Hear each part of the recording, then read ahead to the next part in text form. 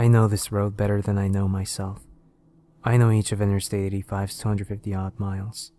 I know that it takes me an average of 3 hours and 26 minutes to drive west from Charlotte to Atlanta, and an average of 3 hours and 29 minutes to make the same trip going eastward. I know the price of gas at a dozen stands, and the closing hours of each fast food shack and greasy diner. I know the curves of each low hill, and I know each stand of pine and oak trees. I know the stretching dark of the long winter nights and the wet heat of the summer breeze. I know these things well because they're the totality of my existence now. I know the names of each exit westward and east, Batesville, Poplar Springs, Spartanburg. They tick through my head as I pass, but the Silver Creek Road exit is never among them. In three years of this endless loop, it has never appeared again.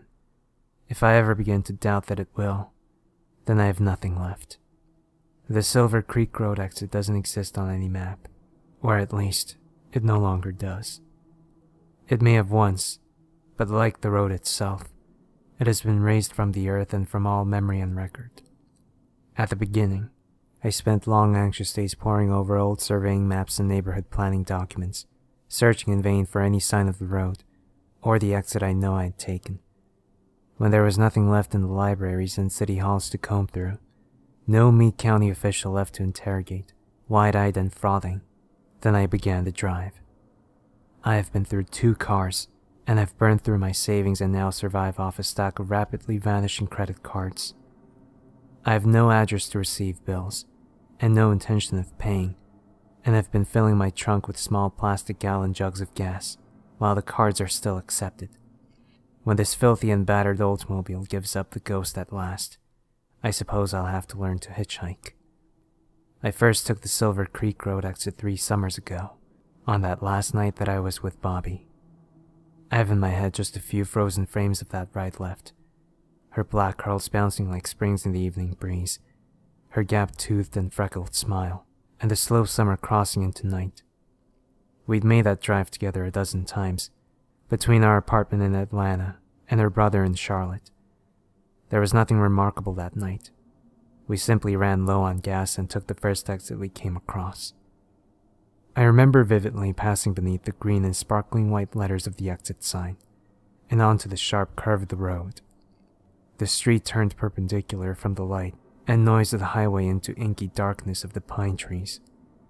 Nothing remarkable to separate it from a hundred other country roads but as the lights of the car penetrated the darkness, a vague and trembling unease passed through me.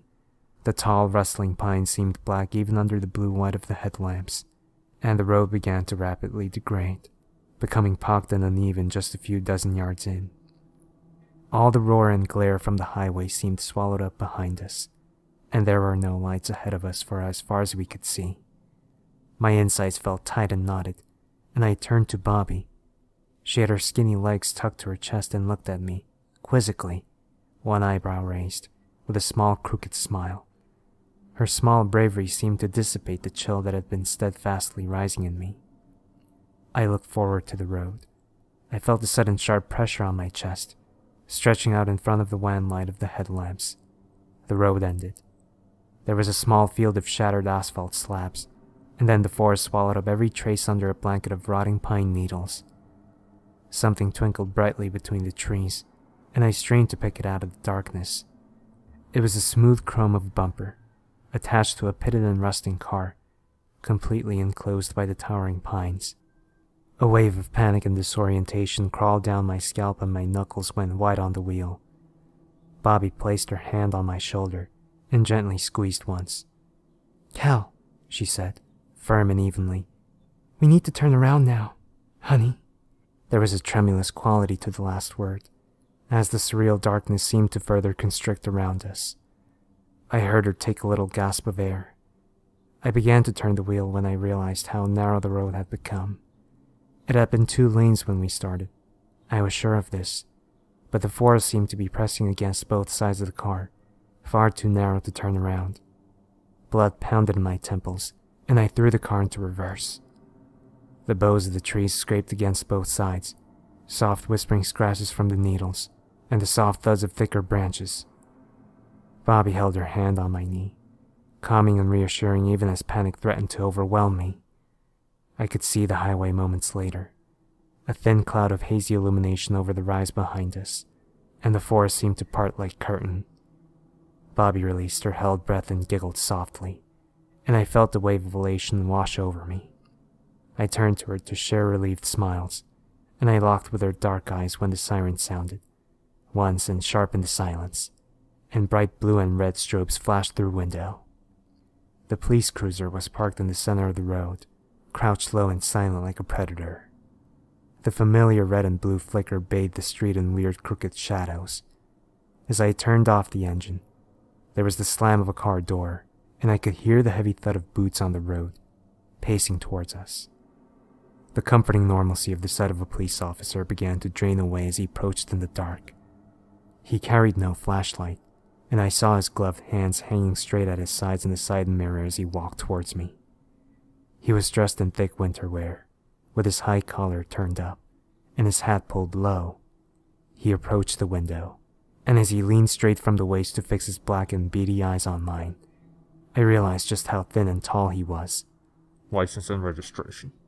His voice was muffled and thick with strange and choked drawl, almost unintelligible, and his lips seemed to move in manner to counter the shape of his words. The summer night air around him seemed to grow even warmer. There were no sounds, no wind in the pines, no chirp of insects. I was mesmerized by the strangeness of what seemed, for all the world, to be an absurd imitation of a man. For the second time in as many minutes, I wondered fleetingly if I was dreaming. I could see now that he had no badge and was simply dressed in unremarkable black clothes. The overwhelming fog of dread and panic seemed to condense all at once around me, and singular animal command to flee, at once, drove my hands forward towards the keys. He was quicker. One black gloved fist slammed into my temple, and a shower of stars exploded over my left eye, and the world tipped sideways. I remember him dragging me from the car, the shocking heat in his grasp seeming almost to burn. I remember hearing Bobby's screams and seeing in dizzy glimpses her brief flight, before being swept into those inhumanly long and slender arms. One glove came off in the struggle, and I saw the pale white hand, like an immense knobby spider, each leg tipped with a black and curved talon. The world swam around me, wild and burning, and I struggled to move my limbs. Bobby was limp in his arms as he approached me again, and I struggled weakly to my feet. Our eyes met in the red and blue strobe. He looked nothing like a man now, his once pale mockery of humanity was stretching and distending away into some unthinkable shape.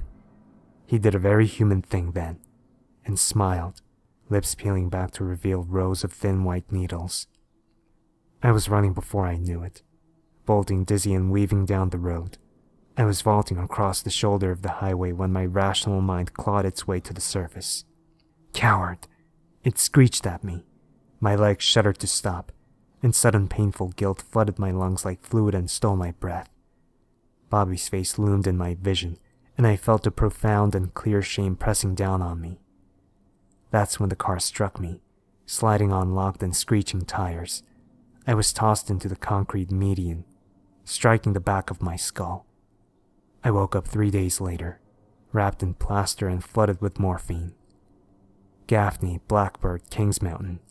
The exits passed by each one decreasing the chance of seeing Silver Creek Road exit on this go around. It was impossible to accept in those first few days of maddening research that Silver Creek Road had simply vanished, and so I made the drive myself, carefully reading each sign. When it failed to manifest itself, I made the drive again, this time at night, and then again. Sometimes there's a Zen like quality to the repetition the familiar patterns of predictability and order, the immutable order of the land, the locked procession of towns and trees, is comforting as it continues to grind my hope away like a millstone. Most days, I can believe and accept that Bobby is gone. There's always that shadow of doubt, that crystalline thread of hope, but it feels hollow in my hands now. There's one thing I must believe. If it appeared to us once, it will to me again. And if I can find it, that pale horror in the man's skin, I'll kill it If the bullets fail, I need only a few moments to ignite the trunk's cargo and to lure the murdering thing to me. I swear to the stars, I'll never stop looking.